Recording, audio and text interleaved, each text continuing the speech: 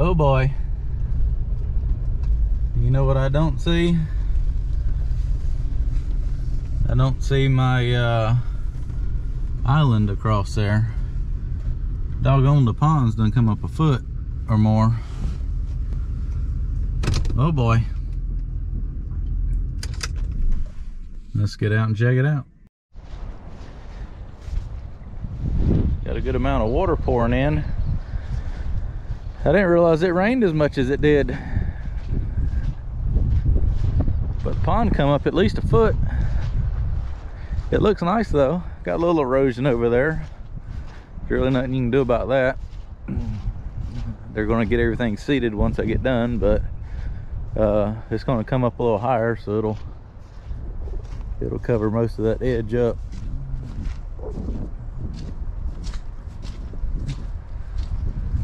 Well, I guess the only good thing about this is I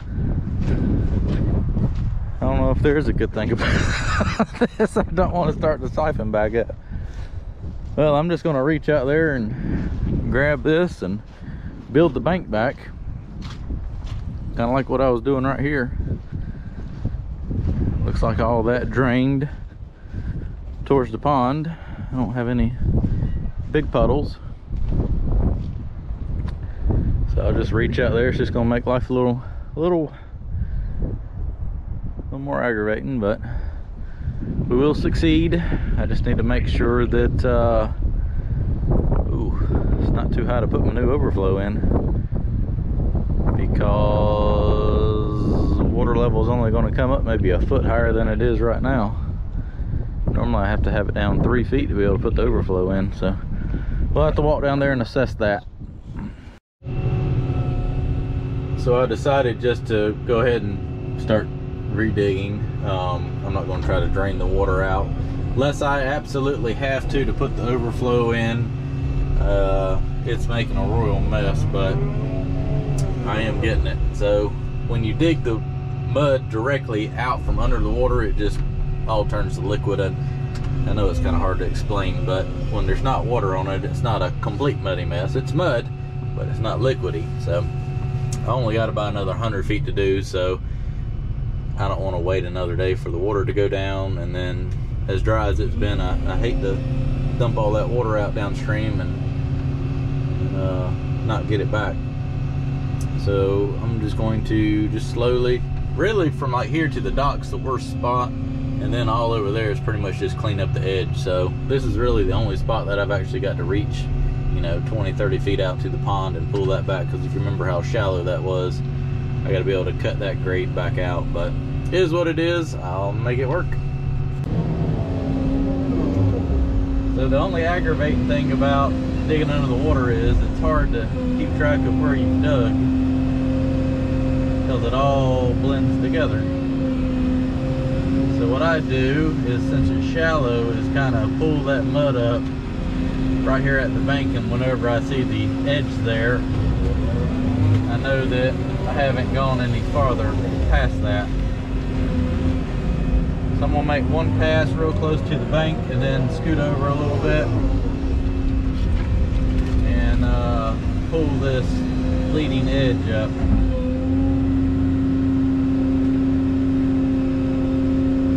This should get our whoa going in the pond everything's so slick.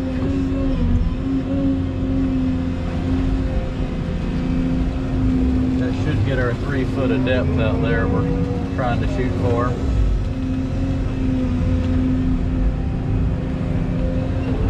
Let's see if I can scoop back over. Not end up in the pond.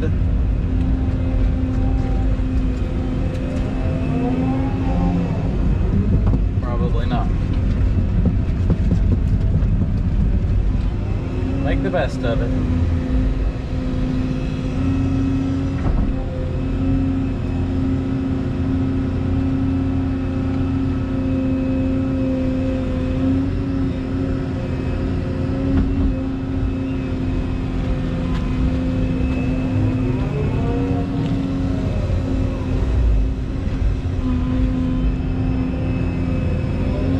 So right here I can tell that I got a little far over on that last cut. So I'm going to come back in here and take out my little windrow in between them.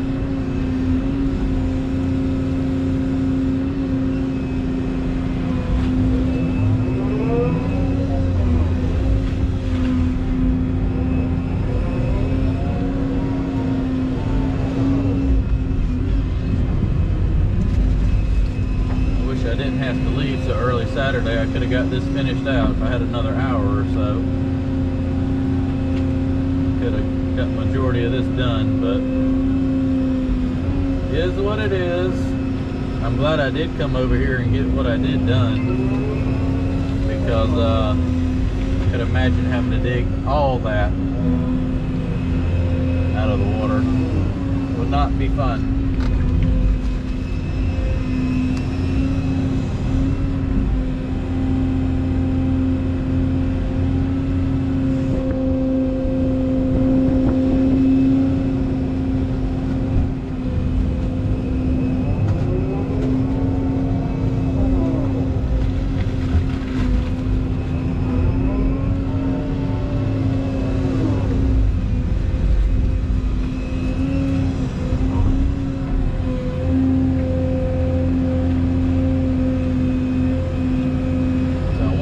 time lapse. It turned out pretty good.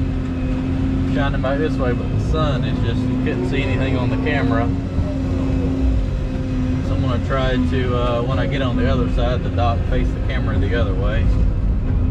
See if I can't get one shaping that shoreline up. So now I got enough mud piled up right here to be able to spread it out. Come back down here. And then I know that I stop digging right here. That's where I see the dirt. Come in here and then pull my slope up right there. Let a little water drain out. This is going to be my driest material. We'll put it right here on the bank. Most of it won't run back into the pond. Go back, make another cut, slow and steady so we don't drag ourselves back into the pond. That'll push a little water out of the bucket.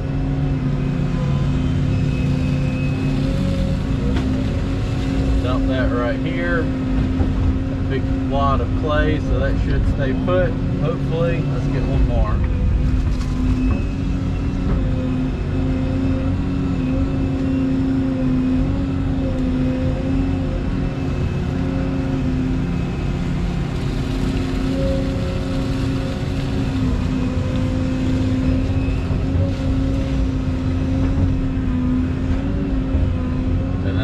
Slick all this up, work do it again. Can you see why I don't like digging in water? Oh, it's a mess. You can only put so much before it just all starts running back in. So, can't really grade too good around the dock with it. But it's there I'm going to uh, finish running down this shoreline right here and shaping it up heading out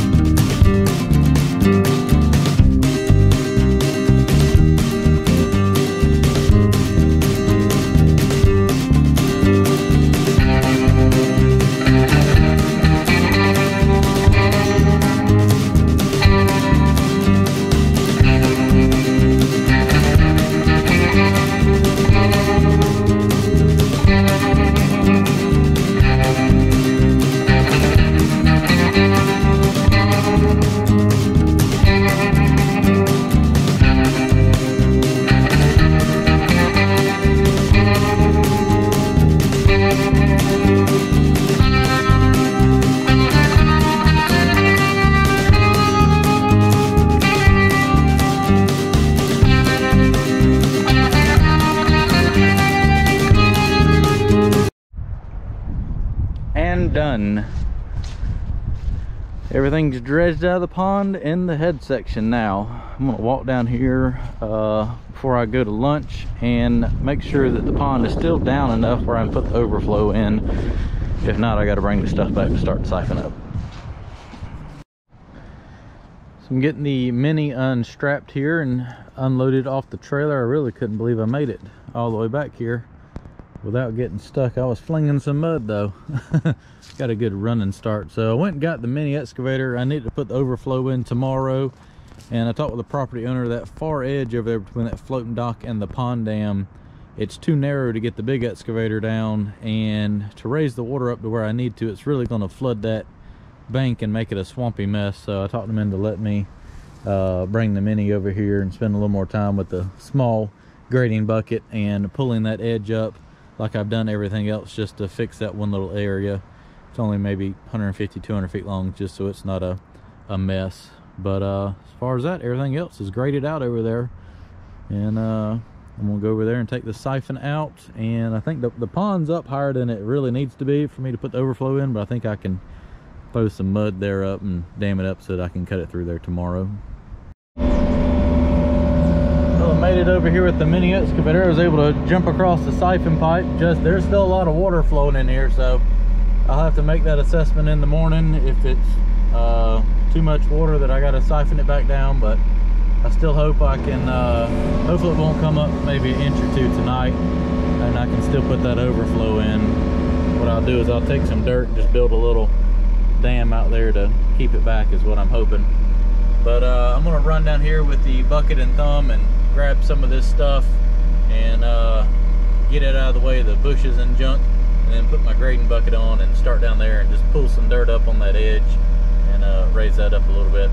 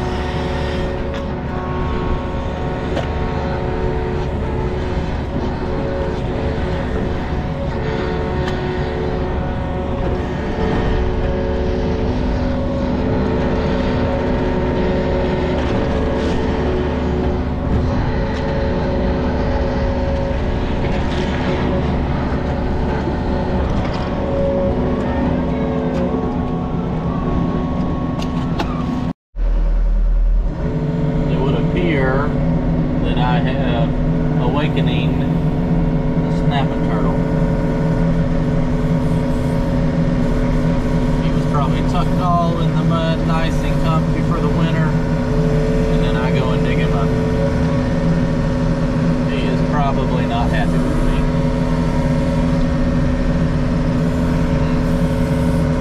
I'll chunk him back out there for the winter.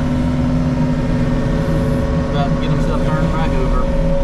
I'll scoop him up, lay him back out there. Well, that edge looks better. I'll just grab all this stuff with the big excavator when I uh, come back over here and just lay it over here in the woods out of the way. I got the machine nice and muddy. That's what sucks about the wind blowing this way at Mach 4 today is every time I took a scoop, you know, there's always air that blows out of the bucket, but it blows muddy water out. And the wind just took it and just blew it all over me the whole time I was sitting there digging. So Yanmar's going to need a bath. In fact, it's all over the boom and the whole machine's gonna need a good bath when it gets home. Well, broke the new off of it, didn't I? Man, I didn't realize it was getting that muddy. Oh well, part of the business. It's cold and windy. I'm going home. We're gonna come back tomorrow and bring all the stuff to put the overflow in and should be able to get the overflow in and majority of this dam graded out and uh maybe just a little more tidy up work wednesday and we'll be done